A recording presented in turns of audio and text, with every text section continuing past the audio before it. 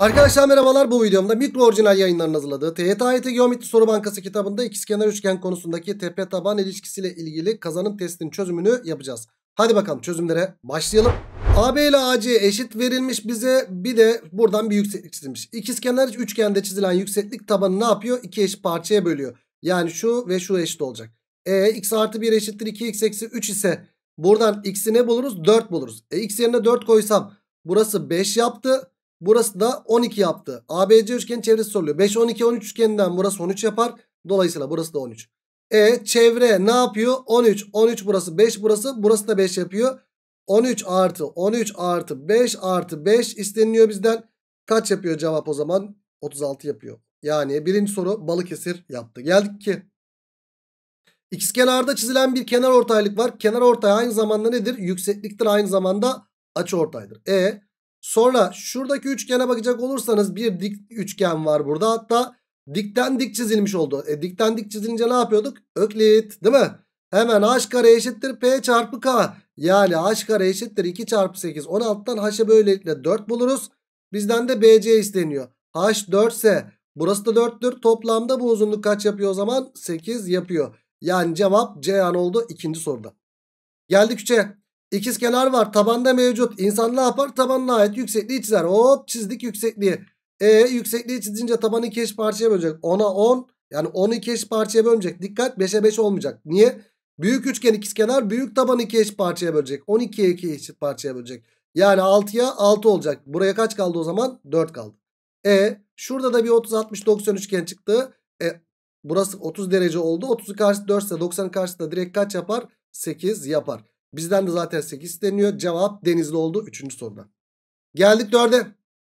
İkizkenar var. Tabanda mevcut. Hemen ne yapar? İnsan olan hop tabana ait yükseklik hocam. Tabana ait yüksekliği çizdik. Tabanı iki eş parçaya böldü. 4, 4. E büyük dik üçgen verilmiş. Bak dikten dik çizilmiş oldu. Ne var burada? Öklit. Gerçi A noktasının BD kenarına olan uzaklığı isteniyor bizden. Şurada kaç isteniyor? H karede P çarpı K değil midir? Evet. H kare eşittir 4 çarpı 9'a eşit olacağından H kare eşittir 36 olduğundan H'ı da kaç buluruz? 6 olarak buluruz. Yani dördüncü soru Akçay oldu. Geldik 5'e. Beşinci soruda ikizkenar verilmiş tabanı iki parçaya bölecek. Hocam tamam şu tabanı iki parçaya bölecek. E burada da bir ikizkenarlık var. Buradaki ikizkenar da tabanı iki parçaya bölecek.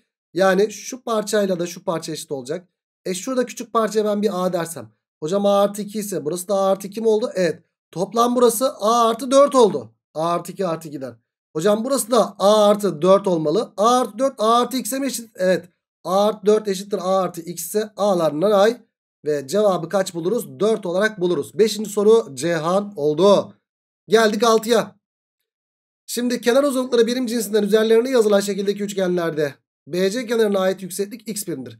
Hemen yüksekliği bulalım kardeşim. Hop tabanına ait yüksekliği çizdik. 6'ya 6 diye 2 eş parçaya böldü.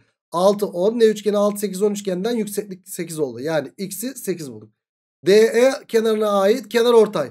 DE'ye ait kenar ortay aynı zamanda nedir? Yüksekliktir. Hocam 15 15 oldu burası ve açı ortaydır aynı zamanda. E 15 17 ne üçgeni 8 15 17 üçgeninden 8 çıktı. Kenar ortay dediğimiz y aynı zamanda yükseklik yani bu da 8 oldu. E sonra L açısının iç açı ortayı Z. Evet L'nin de iç açı ortayı. Hocam ikizkenarda tepe açısından çizilen açı ortay aynı zamanda kenar ortaydır. Aynı zamanda yüksekliktir. 12 13 ne üçgeni? 5 12 13 üçgeninden 5 çıktı burası. Bu da 5 olarak çıktı. X, Y, Z için hangileri doğrudur diye soruluyor. Arkadaşlar Z X ve Y'den küçük. X ile de Y birbirine eşit çıktı. Yani cevap böylelikle ne çıktı? Edremit çıktı 6. soruda. Evet böylelikle bu testi bitirdik. O zaman ne diyoruz? Bir sonraki videoda yaki özelliği testinde görüşmek dileğiyle. Kendinize iyi bakın. Hoşçakalın.